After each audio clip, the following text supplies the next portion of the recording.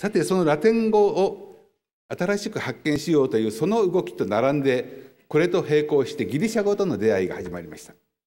もちろんギリシャ語は先ほどの今道先生のお話にもありました通りに12世紀のルネッサンスの時代に一旦人々は、まあ、学者たちは読み始めましたけれどもまたしばらくして忘れられ結果として長い間ギリシャ語の本文はギリシャ語では読めなかった。ほとんど読めなかったという時代が続きます。ところが14世紀の末から15世紀にかけてまずはクリストローラスというギリシャ人がイタリアにやってきてイタリア人たちにギリシャ語を教え始めました。このギリシャ語というのは当時のギリシャ語ではなくてアリストテレスとかプラトンといった古典時代のギリシャ語のテキストを読むその勉強をさせた。次お願いします、えー、マリエル・クリソローラスというこの人物は、コンスタンチノープル現在のイスタンブールからイタリアにやってまいりましてイタリアの人文学を志す人々にギリシャ語の勉強を教え始めます。一種のブームが起きました。とりわけフィレンツェとそしてベネチアドでもって、まあ、ギリシャ語学習のブームが起き次お願いします。とりわけレオナルド・ブルーニという、えー、フィレンツェの書記官長でありましたけれどもこの政治家は同時にこのマニュエル・クルソローラスからラテン語ギリシャ語を教わり自分でもこのギリシャ語からギリシャ語文献をラテン語へ翻訳する仕事まで取り掛かることになります。次お願いします。あるいは続いてはベッサリオンというこれもコンスタンチノープルからやってきたギリシャ人でありますがこのギリシャ人も同じくフィレンツェでやがてはベネチアでギリシャ語古典ギリシャ語の教育を行い始めそこに集った人々は、えー、今までほとんど全てラテン語への翻訳で読んできたギリシャ語テキストを改めて原文で読むことができるようになっていきます。プラトンもアリストテレスも実はほとんど全ての文献はまたほとんど全てのヨーロッパ人はラテン語で読んでたんです。でも本来はもちろんギリシャ語で書かれておりました。翻訳ですからもちろん語訳もありました。疑問の翻訳もありました。でもテキストです。本来の言葉原文で読むのが本来の姿と今でもなく当然の理屈でありましてこうして古典ギリシャ語という今まで存在は知っていたけどほとんどの人々が読めなかったテキストを読むことになった次お願いしますマルシオ・フィチーノというフィレンツェの哲学者は自ら古代の哲学のテキストを、えー、まずはプラトンを続いてはプロティノスをといった古代のテキストギリシャ語テキストをラテン語に翻訳する。これがラテン語だというところがまたミソですけれども。母語母語であるトスカーナ方言ではなくてラテン語。しかも当時普通に使われていた中世ラテン語よりはむしろ古典的な形をとったラテン語でもって翻訳しようと努力いたします。次お願いします。アリストテレスの動物学の漢本これは、えー、最も早い、えー、ヨーロッパでギリシャ語の活字でもって印刷された印刷された書物の一つですがすで、えー、にイタリアでは先ほどのあのキケロに続いてこのようにギリシャ語の活字が開発されギリシャ語でもってもともとのテキストが印刷されるようになっていきます。次お願いします。さて母語であるイタリア語古典ラテン語古典ギリシャ語4つ目はヘブライ語であります。今でもなくヘブライ語は旧約聖書を書くために使われていた言葉であり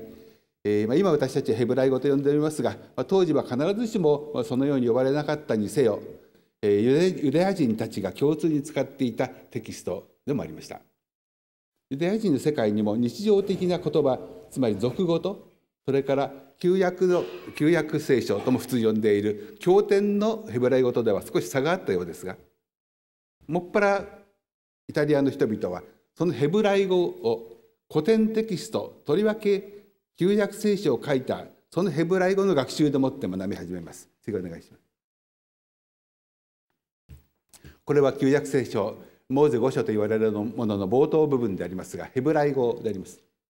このヘブライ語の活字もイタリアで開発されました。えー、ソンチーノという名前で呼ばれているユダヤ人だと思われますけれどもこの人物がイタリア語でイタリアでヘブライ語の活字を開発しイタリアでもって初めて旧約聖書を印刷活版印刷でもって印刷いたしましたもちろんヘブライ語をこのように印刷することができるためにはヘブライ語の文法や場合によってヘブライ語でもってものを書くことも含めた本格的なヘブライ語の勉強が必要であります。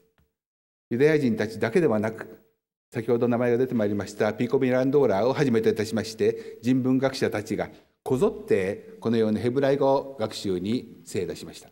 なかなか難しく途中で挫折した人もたくさんいるようでそういう話聞くと安心するんですけれども。次お願いします。結果として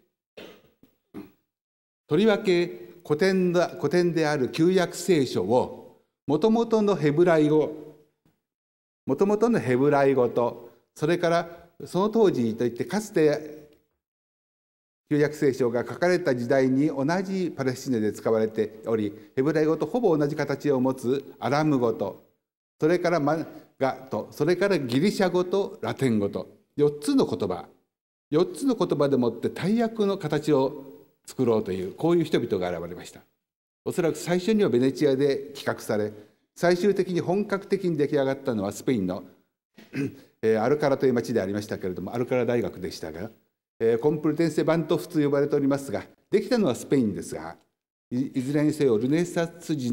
の人文主義者たちが考えたやり方でありました。ギリシャ語とラテン語ラテン語は古くから使われてきたブルウルガータ訳。ギリシャ語は文字通り本来のギリシャ語は新約聖書はギリシャ語で書かれましたしまた旧約聖書のギリシャ語訳もすでに2世紀に70人訳として翻訳されておりましたのでその本文にもともとのヘブライ語を当てはめそしてヘブライ語と共通の関係を持つアラム語も当ててこの4つを並べかることでもって相互にお互いに言葉と言葉の間の関係を考えようではないかというこういう今で今考えましても気の遠くなるような作業をいたしました。さてこのように少なくとも当時の人々にとっては新しい現象であったものつまりイタリア語のいろいろな母語方言としての母語がそれぞれ地方ごとに違うけれども確立されたという一つの側面とそれからラテン語も普通に学校で当時大学中学校に相当する学校やあるいは大学で使われていたラテン語ではないもともとのローマ時代の古典ラテン語とそれから古典的な古典時代に使われていたギリシャ語とそれから聖書の時代にすでに使われており聖書を書き記してヘブライ語とこのそれぞれ4つの言葉をがそれぞれの人々にとって皆それぞれ関心は違うにしてもそれぞれの人々にとって重要な関心事になっていきます。多くの人々にとっては母語だけでいいかもしれないがでもちょっと物事を考えてみよう。古代の復活ということを考えてみよう。ということになると言うまでもなくこのような4つの言葉をそれぞれに勉強しそれぞれの関係も含めて改めて言語というものを考えてみようではないかという大きな機運が巻き起こりました。次お願いします。さて実はこのように人文学者が学問を積むために必要とした4つの言語方言も含めて4つの言語だけではありませんでした。イタリアにとっては現在のイタリアを考えてみますと実はフランス語もスペイン語もドイツ語もアラビア語もそれぞれ地方ごとにみんな事情は違いますけれどもイタリアでもの半島とその周辺で話されていた言葉ばかりであります。みんながフランス語を話したわけではないがでもイタリアの北方北の方ではフランス語を話す人々はやってまいりましたしまたイタリア人がそちらへ行ったこともあるだろう。スペイン語はとりわけ南イタリアナポリから南ではこの地方は元その当時からスペインの支配領でありましたのでスペイン語は公式にはあちこちで使われておりましたしまた実際ローマでもかなりスペイン語が通用していたと言われています。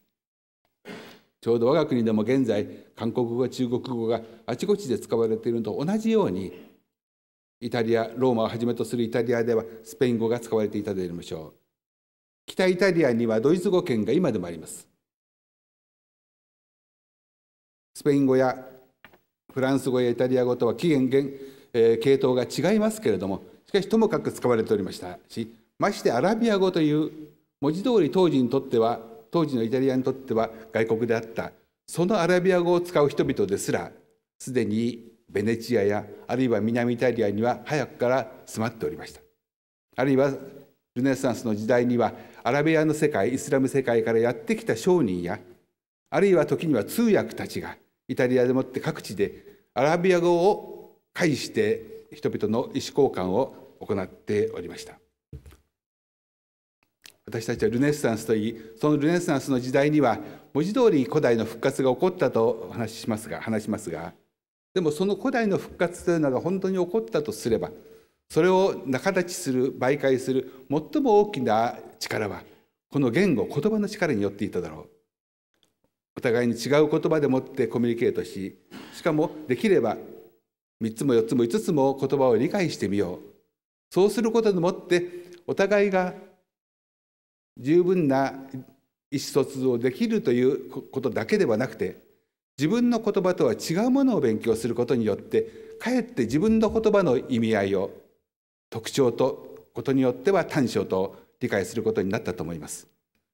確かにルネサンスという時代はこれまであまり議論されてこなかったように思えるのだけれどもこのように多数のイタリアにとっては外国語あるいはイタリアにとって多数の方言、まあ、こうしたものがお互いに接触し合いながら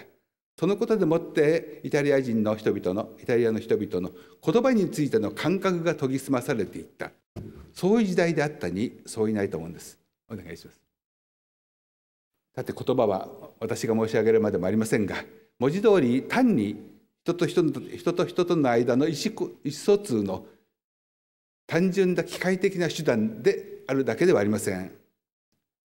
それだけではなくて私たちは物事を言語を通して考えまた人々との間でもって言語を通して議論をします。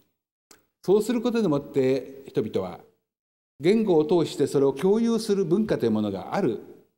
あるいはことによればその文化と他の言語を媒介とした文化との間の関係がある。その関係はまずは言語から接近することができるし認識することができるはずだ。こういうふうに私たちは言語を受け取ってきたと思います。今私たちはついうっかり言葉は単なる手段だと。お互いに分かり合えばいいんだと。だからなるべく言葉を短くしちゃおうと。こういうことになりがちでありますけれども。もちろんコミュニケーションのための手段ではあるけれども同時に言語言葉は自分たちの世界観とか人生観とかあるいは人々とお互いに物事を分かり合うための手段として。